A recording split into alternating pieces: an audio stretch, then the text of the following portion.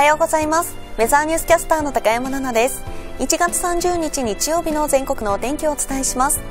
冬型の気圧配置が続き日本海側では雪や雨が降りやすくなります。北日本の日本海側や新潟県などでは積雪の急増吹雪による視界不良にご注意ください。また北陸から山陰にかけての日本海側でも雷あられ突風を伴って強まる恐れがあります。一方太平洋側では日差しが届くところが多くなります。北日本の太平洋側や西日本方面などではにわか雨やにわか雪の可能性が一部でありますので空の変化にご注意ください。静岡県や山梨県関東の西部などでも一部にわか雨にわか雪の可能性があります。各地気温があまり上がらず風も冷たく感じられそうです。防寒必須。また北海道では特に気温が上がりにくく今シーズン一番の寒さとなるところもあります。万全な防寒でお過ごしください。お天気アプリウェザーニュースでは最新の気象情報を確認することができます。ぜひご活用ください。